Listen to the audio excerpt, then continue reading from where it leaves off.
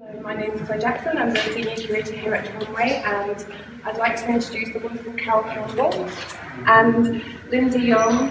Uh, Linsey is the curator of the exhibition of Love and also works as the uh, curator of contemporary art at Tate Britain. So thank you both for coming today and uh, I'll let you begin.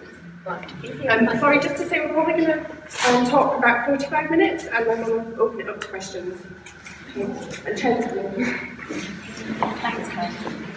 Um, hi everyone. We haven't really made any plans about what we're going to talk about because usually when we get together we just end up nattering and gossiping and talking in a kind of free form way. So we thought probably best to do talk like that as well.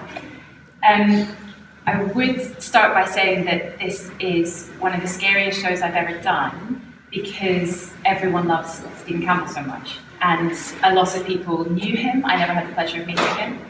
Um, a lot of people were, were, friends with him or at uh, art school with him, and it was a really, really intimidating thing to take on. Um, but it, I felt like I just I had to because um, we'll, we'll, talk about how the show came together. But um, yeah, it felt like it had to be. But everything I say is definitely like a preface in that I am no authority. Like I was, I'm doing this on gut instinct, kind of working with Steven's work, and I'm definitely not an authority. And I know there are a lot of people in the room who are, who doing PhDs on Steven or who um, written about him. So it's a kind of different way of approaching it. Um, and I said that was a really, really good way to start, that it should be done in gut instinct, because that was basically what the whole of Steven's career. Oh, sorry. Right, we'll speak up. I'll use my te school teacher voice. you hear okay now? Yeah, I'm just saying it was a good way for Linsey to start the whole project, just to go with her gut instinct, because that was basically what governed all of Steven's working principles throughout his artistic career. Um, and so the, the, way that this show came about was I was working, um, I'd been at Inverleith House for a number of years, and then I'd moved to the Scottish National Modern Art, still a mouthful, um, to work for a year on the Generation project that was um, curated by Katrina Brown. Um, and she'd, or I'd been kind of put in charge with Keith Hartley of the Royal Scottish Academy building. So I was working with Martin Boyce and Karla Black, Rosalind Nashashibi, Christine Borland, and uh, putting together a group show. But the, the kind of most complex thing to do was to restage on form and fiction. Um, and I'm ashamed to say, but I'm going to say it, that I really didn't have that much knowledge of that work. I knew the paintings um, from kind of collections that I'd grown up with in Scotland, but I didn't know that that work. So um, read as much as I could, and then started the process of kind of discovering or rediscovering the works, visiting Carol at the, the house and studio in Kippen, um, and going down to Marlborough in London, where the majority of those kind of works on paper still were.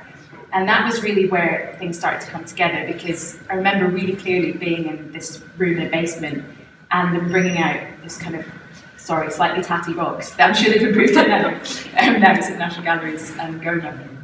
Um, but just pulling out these drawings and then completely blowing my mind, like each one being more incredible and more unexpected, and just not the artist that I thought I knew from the paintings. And then going to Kippen to the studio and um, finding things like the papier-mâché works that are over there, um, and a whole kind of other series, uh, series about football, about Alex Ferguson, um, that we're hoping that will maybe show at a later stage. Um, where was I going with that? Yes. So it was that, yeah, it was in that process of kind of discovering form of fiction. And then I had another trip to Marlborough uh, to their stores and saw these collages, which I'd never seen before in the flesh. And they've only been in one book that I could find previously. Campbell's, uh, sorry, Duncan Macmillan's book on uh, Story So Far on Steven Campbell, which is totally brilliant. And there's a section devoted to these works. Um, and the only I spoke to so many people because I was so worried about getting my facts wrong, and I kept saying, "I'm sure these haven't been seen. I'm sure there was nowhere else." And no one remembered having seen them at a show, which was at Talbot Rice, except Michael Fullerton, who's like the biggest fan of Steven Campbell, and was immediately like, "Oh yeah, no, I can remember every detail of every single collage that was in it." Um, and so maybe we should talk about how they were made, because it's quite specific in terms of the way Steven worked. Um, one of the things Carol would always tell me was that Steven was incredibly impatient, um, so would be fairly demanding. He was incredibly impatient. I mean, and with my job being a primary teacher, I mean, you have set hours you have to work and you've got a class of children and you can't just walk out and leave them. And I was always the gopher in the relationship, you know, I need a, you know, I need a, a white paint, I need a piece of canvas. And I mean, it won't be the first time that he's like in the middle of the day, I need a piece of canvas, and I'll say, but hey, who's taking 28 kids, you know, that I'll get you later.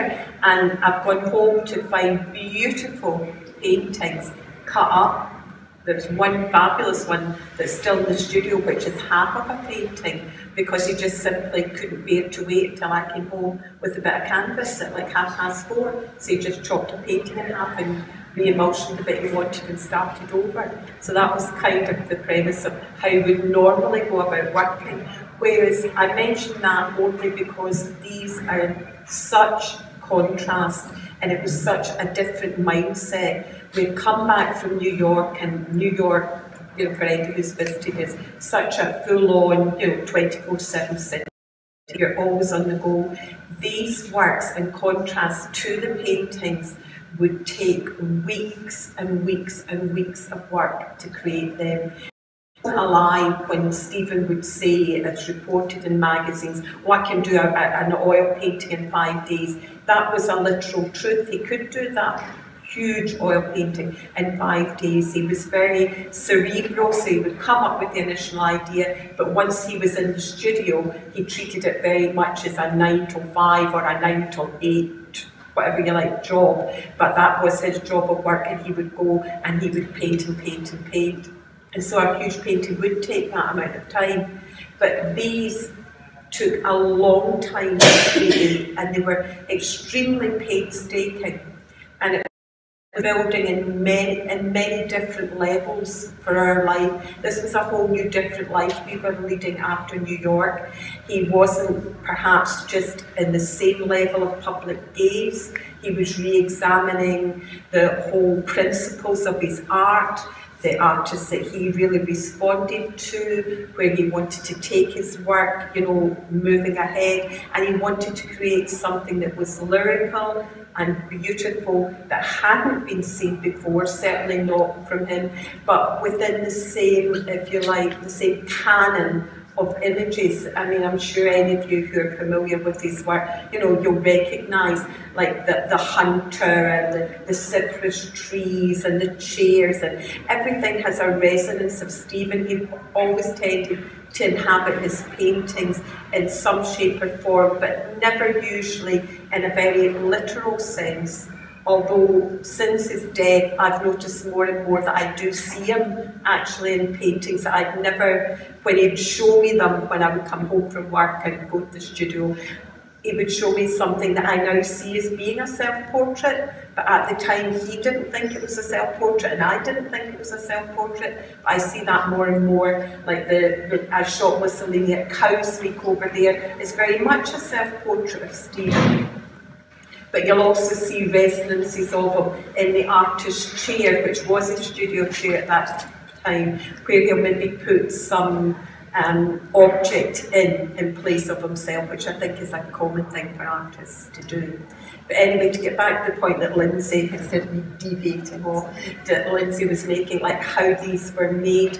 And at the time we lived on a farm away up in the hills above Kippen, and we had a tiny little blue, a, like a little mini Aga thing, a Rayburn stove, and above that there were three dowling poles that could be used for drying clothes or whatever. And what he would do was he would paint just household string, balls of household string, just cut them into big long lengths, paint them the colours he wanted, drape them over these poles until they had dried, and then with a Stanley knife, start and cut them into from the tiniest minute, you know, two centimetre little piece and build up the image from that. So there'd be a rough outline drawing done on the paper or the canvas, and then this build up process would begin. So you can imagine that that, you know, that's a real labour of love to work that kind of way. It was really intense for him. He would work, I mean, there were times when his hands, his fingers would be bleeding, working with a Stanley knife. But in a way, it was a, a reconstruction for body, soul, mind, for his art. But I think what Linsey picked up upon, because she actually named the exhibition, it was you who came up with the title, Love. And I think that does really encompass what you see. It was love of family, it was love of art, it's love of nature. It was very much where he was as a person at that time. And, and we were talking earlier about, again, as someone who never had the privilege of meeting him, but there was always a sense to me in the way that paintings came across or were communicated or were presented by collections that was quite macho. We were kind of talking about yeah. this earlier, that was kind of very masculine and swaggery. Um, and it felt like there was a sort of different tone about these. And there was also um, Debbie Banerjee did this amazing podcast about the mixed media department um, at Glasgow School of Art. And there's this fantastic bit where Roger Hoare is talking about working with Steven, and he said, um, oh yeah, no, Steven um, was really difficult and broken, but then I met Carol and I thought he must be okay if that's his wife. Um, I'll stick with it, it must be alright. And for me, there was always, maybe from going to Kippen and seeing the environment that you worked in, but it felt like not, you were definitely a muse, I think, but it didn't feel just like that. It felt very reciprocal. It felt like two people in an artistic relationship, kind of um, like working off each other and fueling each other's interests and passions. And I think that there's something really fascinating about these in terms of the domestic, and there are children in all of Steven's paintings from the very beginning, but there's something about the proximity of domesticity and the way that it's welcomed by Steven. Like it doesn't feel like it's something he's in opposition to, it feels like something he is very happy and comfortable with, and that is fueling the practice. Um, which is, I suppose, like for that, that's always you in my head. That woman at the centre of the family with the butterfly wings and the children around. And it's, I think that's quite an unusual partnership, and perhaps one that is different to how he's been perceived previously. Yeah, no, we were talking earlier, and I was saying, I think, in common with most artists, at least the ones that I've had the pleasure of meeting, um, artists tend in the main to have a, a very gentle inner soul because they touch with their feelings and what they're producing. And Steven had very much developed his artistic persona to be very different to the man that he actually was. Steven was a really quite a shy, very gentle, very caring person. But he knew that to succeed in art terms, especially when he was first setting out in the you know the early 80s and going to New York, you had to have a persona, you had to be known, you had to become a performer. So if Steven had been alive today, I wouldn't be here. I'd be in a bar round the corner somewhere and we'd have sat and had a drink and then he'd have come and he'd have performed for you as Steven Campbell, the artist, in some, you know, great outfit they had found, usually from Paddy's Market, for those of you from Glasgow. That was where all his best clothes came from.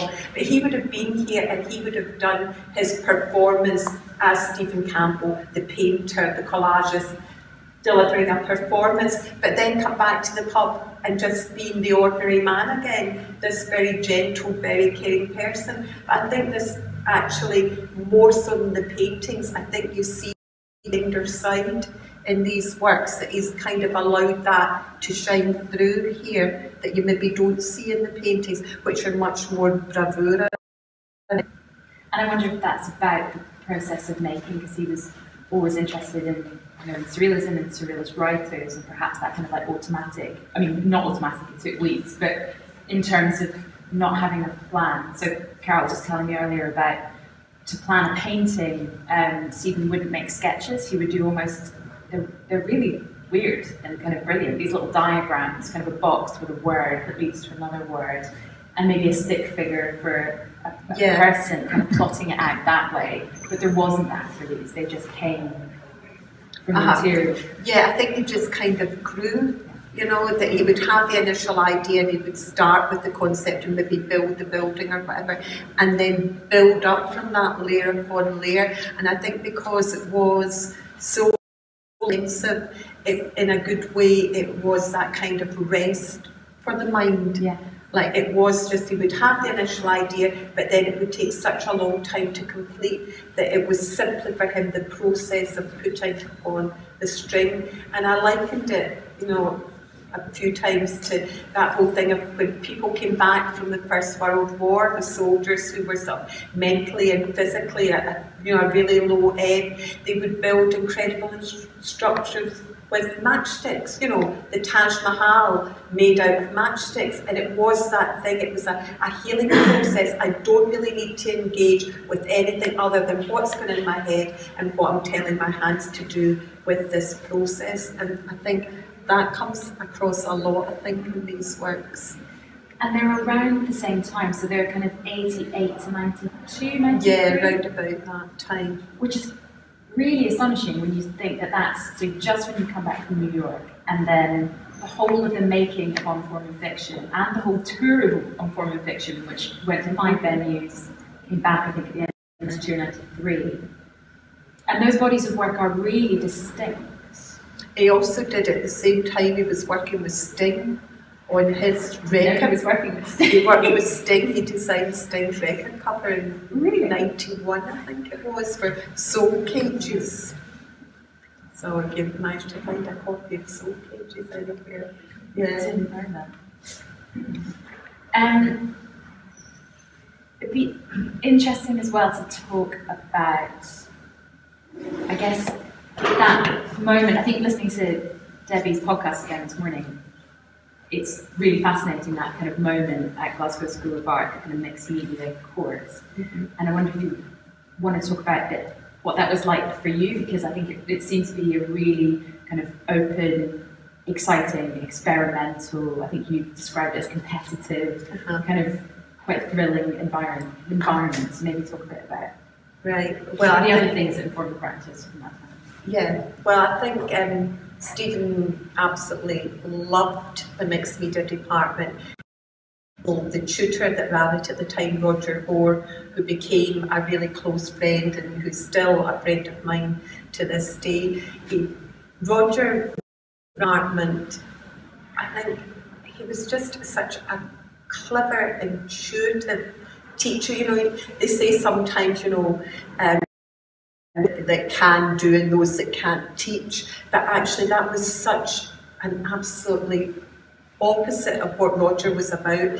He was so intuitive. He would never actually, at least in Steven's case, his interactions with Steven, which is all I can talk about, it was never a case of, oh, I think you should, these might be the next steps for you. Steven would simply go in and you know, he'd come back at night and he'd have a book, like the banquet years. Oh, Roger gave me the banquet years to read, or Roger left me this LP today. He said he thinks I might like this piece of music. So here was a man that could see in the student, oh, I know where this guy could maybe run with this. I'll give him the tools to do that. Let's give him some information. And of course, Steven, you know, through artistic career was like a sponge. Once he, he would take something in, he would run with it and want to find out more and more information.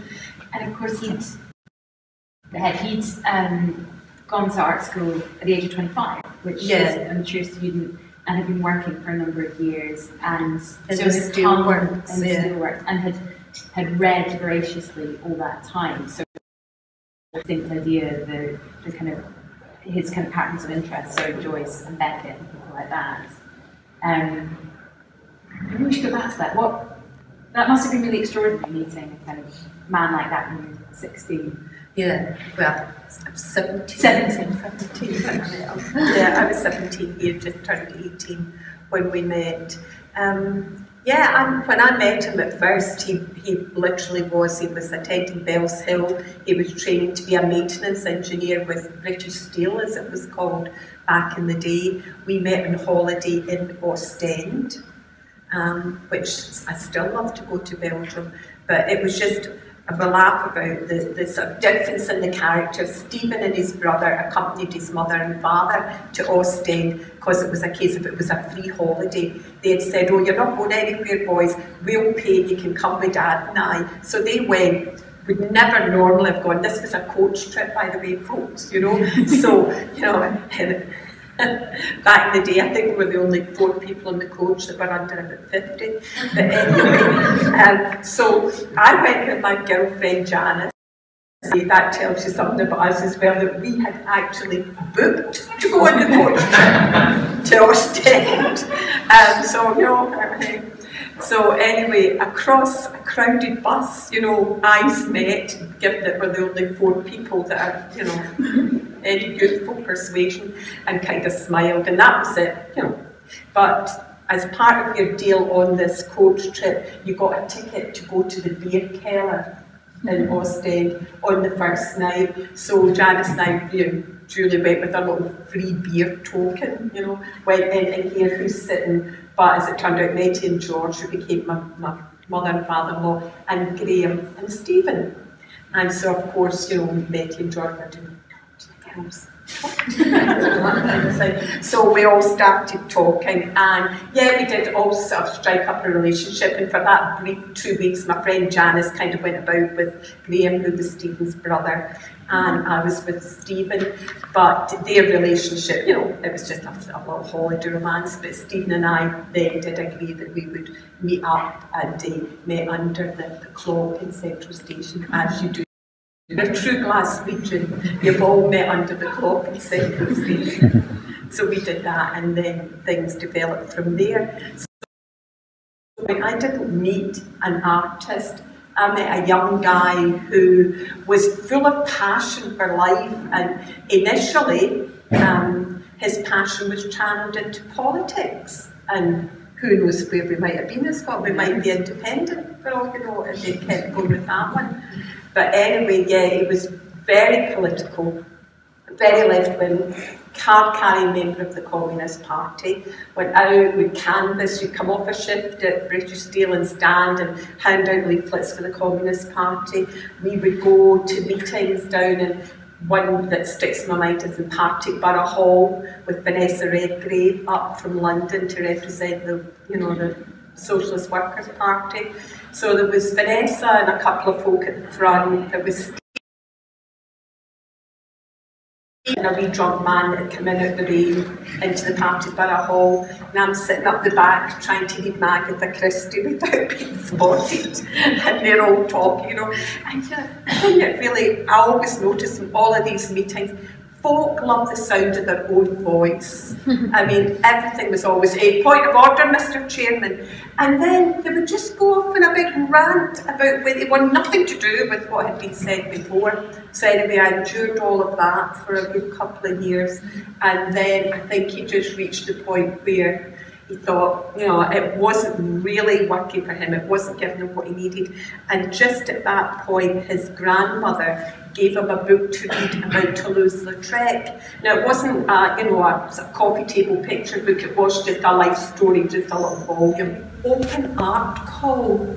And he made this head, still with this sort of socialist leanings, of John Maclean, you know, from the, the sort of Red Clydeside. And he did this bust head of John Maclean. And it was actually in, displayed in a shop window in Sauchiehall Street, I think, uh, just below where the art school is now, because there was venues right throughout Glasgow. It was just an open art column. There was amateur artists and as dare say professional ones as well. So that was the kind of start of things. Then we did, we saved up after we got married and took, you know, this sort of what would be called a gap year now, although we went away for quite a year. But just sort of travelling around Europe, spent a lot of time then in France and Italy. And then when we came back, that was when we applied to go to art school and got in then as a mature student. And he played football for Scotland?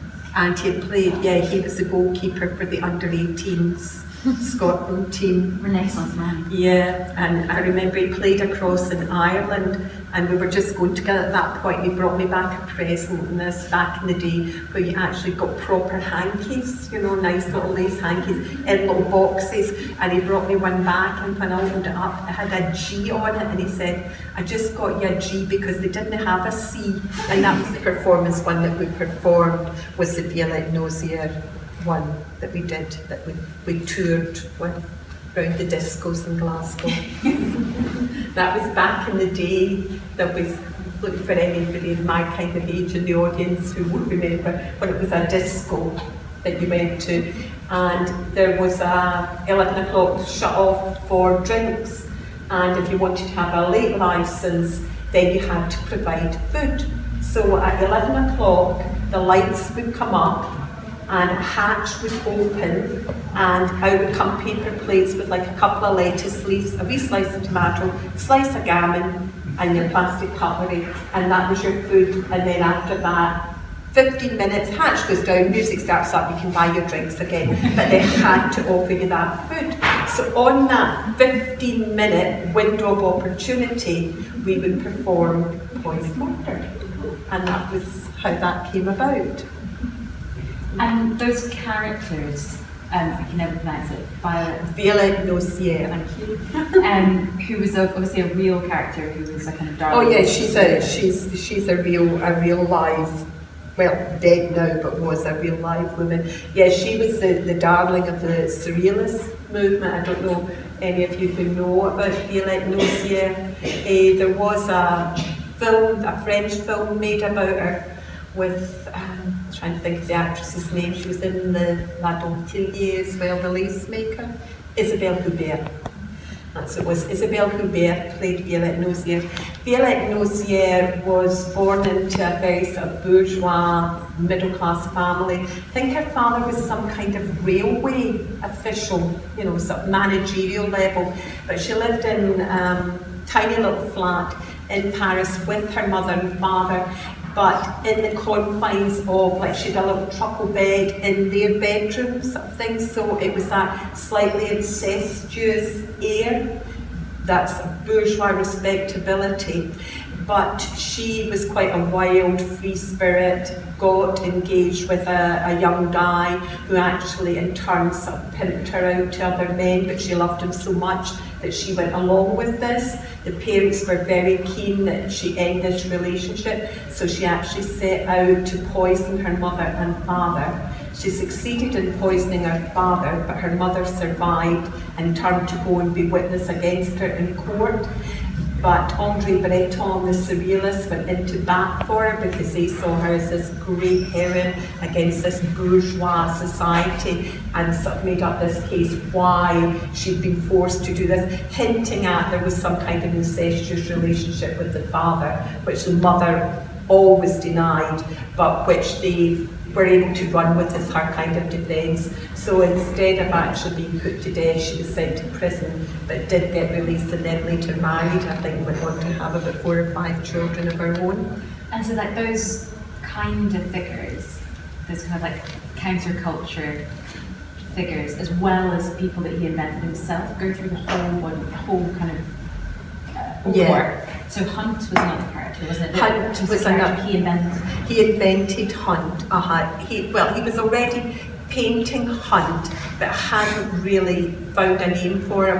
And it was just, I think it was one day, his, his studio was always strewn with detritus, Steven. Every studio that he never had. He never actually had, apart from New York, and even then it was a basement studio as well, without any windows. He never had great studios. They were always, you know, kind of like Paris at the turn of the century. I think he was that kind of Calvinist thing, you know, if it's hurting you, it's doing you good, you know. so I think that was kind of his premise and how he went about working anywhere.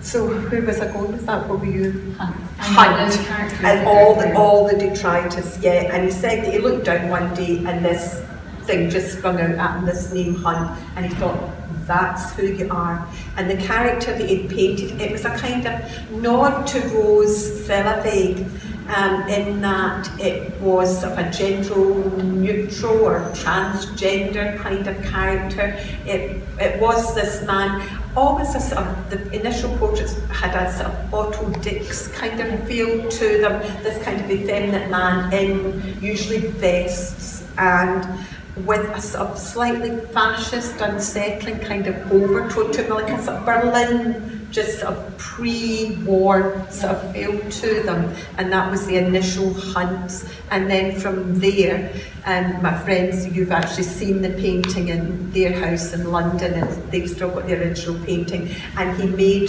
the, the figure in the painting is carrying a flag and he made the flag so I think that was why you then thought to include objects in this exhibition because quite often he did create an object to go with paintings like the Pinocchio tiles that he made for the Talbot Rice exhibition. So quite often there was a kind of crossover in disciplines. And yeah, crossover and an expansion in a way that's really unusual or that I just didn't expect. So the it's going on a tangent, but there's the psycho rug drawings that uh -huh. Completely in love with, which are like A4 paper, um, really loose, beautiful drawings, but they're designs for rugs, for tapestries. Um, and I never expected to find anything like looking at paintings, uh -huh. you would imagine that those were there within the practice. But there's something, I can't quite make the connection in my head, but the, I think there's something there.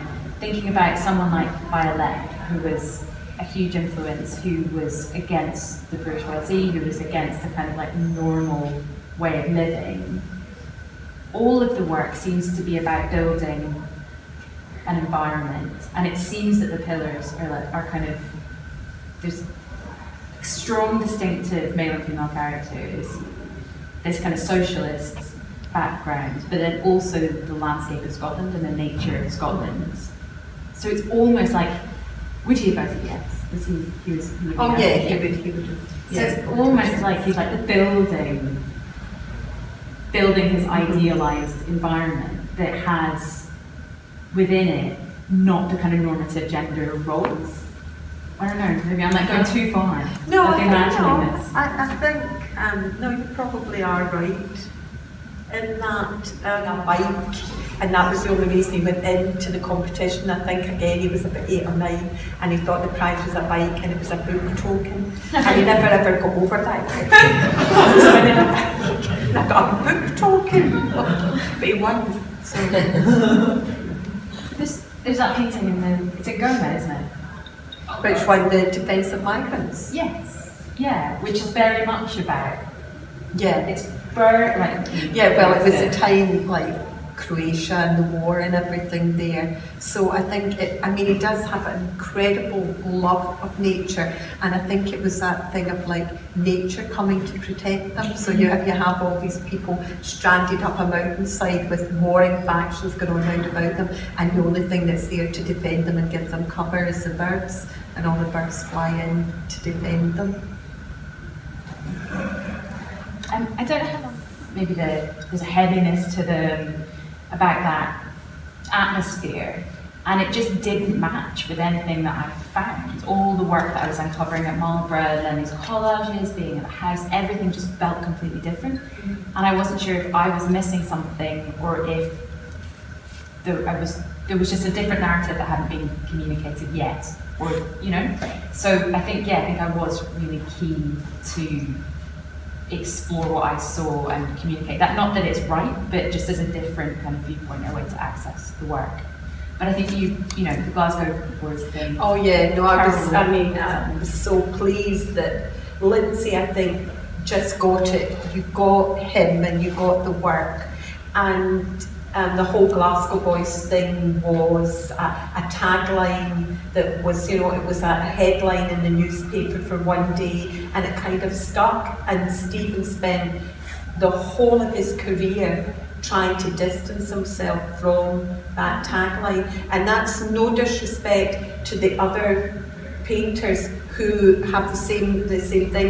Your Peter Howson and Ken Currie. I'm sure if they were standing here today, they would probably say exactly the same thing. These were very disparate artists coming from very separate viewpoints, and just because they happened to collide at an art school, it was never a movement, they never ever worked together, um, and I don't think they ever saw themselves as being that group, but it's ones that is hung round your neck as a label. Eh, I mean, it still is always trundled out even today. Whereas, I mean, Steven came from much more of anything a surrealist kind of vision of the world. Very, very different to, you know, Ken coming from a very political Diego Rivera kind of viewpoint on the world. That it was just one of these things that happened and it stuck.